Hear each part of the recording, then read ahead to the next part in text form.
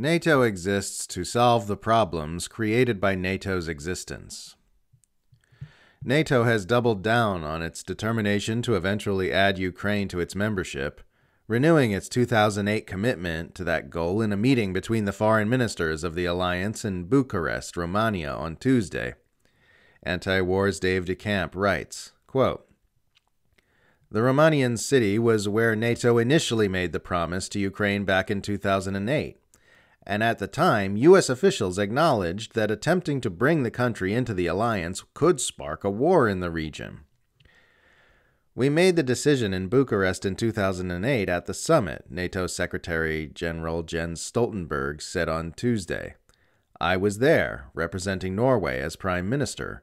I remember very well the decisions. We stand by those decisions. NATO's door is open. In a joint statement, the NATO foreign ministers, including Secretary of State Antony Blinken, said that they reaffirm the decisions that were made at the 2008 Bucharest summit. It has become fashionable among the mainstream Western commentariat to claim that Russia's invasion of Ukraine had nothing to do with NATO expansion. But, as recently explained by Philippe Lemoine for the Center of the Study of Partisanship and Ideology, that's a completely false narrative that requires snipping past comments made by Putin out of the context in which they were made. Many Western experts warned for years in advance that NATO expansion would lead to a conflict like the one we are seeing today, and they were, of course, correct.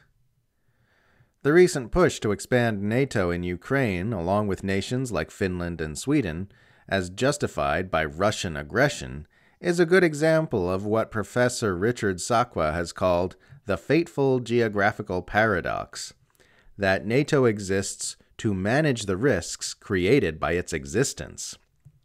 As the late scholar on U.S. Russia relations Stephen Cohen explained years before the U- Ukraine crisis erupted in 2014, Moscow sees NATO as an American sphere of influence, and the expansion of NATO and NATO influence as an expansion of that sphere. It reacts to this with hostility just as the US would react to China or Russia building up aggressive military alliances on its borders, and arguably with vastly more restraint than the US would.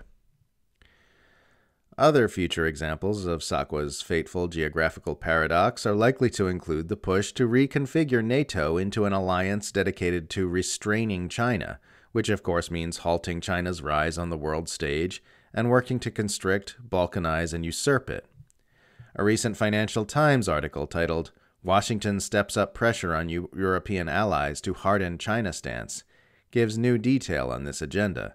Quote, the U.S. is pushing European allies to take a harder stance toward Beijing as it tries to leverage its leadership on Ukraine to gain more support from NATO countries for its efforts to counter China in the Indo Pacific. According to people briefed on conversations between the U.S. and its NATO allies, Washington has in recent weeks lobbied members of the Transatlantic Alliance to toughen up their language on China and start working on concrete action to restrain Beijing. U.S. President Joe Biden identified countering China as the main foreign policy goal at the start of his administration, but his efforts have been complicated by the focus on Russia's invasion of Ukraine in February. But with Russian President Vladimir Putin's invasion in its 10th month, Washington was making a concerted effort to push China back up NATO's agenda, the people said. The North Atlantic Treaty Organization added China to its security concerns for the very first time this past June, and ever since it's been a mad push from Washington to ramp up aggressions against Beijing. Another Financial Times article titled NATO Holds First Dedicated Talks on China Threat to Taiwan details a meeting between alliance members this past September. Quote, they also discussed how NATO should make Beijing aware of the potential ramifications of any military action, a debate that has gained significance following Russia's invasion of Ukraine amid questions about whether the West was tough enough in its warnings to Moscow. The U.S. has been urging allies, particularly in Europe, to focus more on the threat to Taiwan as concerns mount that Chinese President Xi Jinping may order the use of force against the island. Senior U.S. military officers and officials have floated several possible timelines for military action, with some eager to increase the sense of urgency to ensure Washington and its allies are prepared. Some are noticing that Washington's eagerness to increase the sense of urgency on this front can easily wind up having a provocative effect which serves as a self fulfilling prophecy. Bonnie Glaser, director of the Asia program at the German Marshall Fund in the United States, told Bloomberg a month ago that Washington's haste to prepare everyone for another major conflict could, quote, end up provoking the war that we seek to deter, end quote. NATO should be renamed ASFP, the Alliance for Self Fulfilling Prophecies, tweeted commentator Arnaud Bertrand of the alliance's discussions about Taiwan. A defensive alliance doesn't look to pick fights with a country on a different continent, tweeted Jacobin's Branko Marcetic. This is some classic mission creep from NATO, or, more accurately, Washington. When you ignore all the empty narrative fluff and really boil it down to the raw language of actual behavior, NATO's existence really does seem to be premised on the circular reasoning that without NATO, there'd be nobody to protect the world from the consequences of NATO's actions. It goes out of its way to threaten powerful nations and then justifies its existence by their responses to those threats. It's a self licking ice cream cone, or, if you prefer, a self licking boot. And this is all happening as news comes out that European nations are beginning to notice they're bearing a lot more of the cost of Washington's proxy warfare in Ukraine than the US is, while the US reaps all the profits. In an article titled Europe Accuses US of Profiting from War, Politico reports, quote, Top European officials are furious with Joe Biden's administration and now accuse the Americans of making a fortune from the war, while EU countries suffer. The fact is, if you look at it soberly, the country that is most profiting from this war is the US because they are selling more gas and at higher prices, and because they are selling more weapons, one senior official told Politico. The explosive comments, backed in public and private by officials, diplomats, and ministers elsewhere, follow mounting anger in Europe over American subsidies that threaten to wreck European industry. End quote. Washington is taking extreme risks and angering allies at this time because it's getting to do or die time as far as preserving U.S. unipolar hegemony is concerned.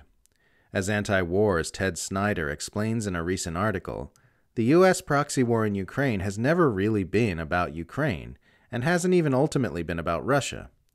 In the long run, this standoff has always been about China and about the desperate campaign of the U.S. empire to preserve its unrivaled domination of this planet. The war in Ukraine has always been about larger U.S. goals, writes Snyder. It has always been about the American ambition to make a unipolar world in which they were the sole power at the center and top of the world. Events in Ukraine in 2014 marked the end of the unipolar world of American hegemony, Snyder says. Russia drew the line and asserted itself as a new pole in a multipolar world order. That is why the war is bigger than Ukraine, in the words of the State Department. It is bigger than Ukraine because, in the eyes of Washington, it is the battle for U.S. hegemony. If Ukraine is about Russia, Russia is about China, Snyder writes. The Russia problem has always been that it is impossible to confront China if China has Russia it is not desirable to fight both superpowers at once. So, if the long term goal is to prevent a challenge to the US led unipolar world from China, Russia first needs to be weakened. Snyder quotes Lyle Goldstein, a visiting professor at Brown University, who says that in order to maintain its hegemonic position, the U.S. supports Ukraine to wage hybrid warfare against Russia. The purpose is to hit Russia contain Europe, kidnap allies, and threaten China. As the world becomes more multipolar and securing total control looks less and less likely, the Empire is fighting more and more like a boxer in the later rounds who's been down on the judge's scorecards the entire fight, taking more risks, throwing wild haymakers, preferring the possibility of a knockout loss over the certainty of losing a decision. We're at the most dangerous point in humanity's abusive relationship with U.S. unipolar domination. For the same reason, the most dangerous point in a battered wife's life is right when she's trying to escape. The Empire is willing to do terrible and risky things to retain control. If I can't have you, no one can is a line that can be said to a wife or to the world.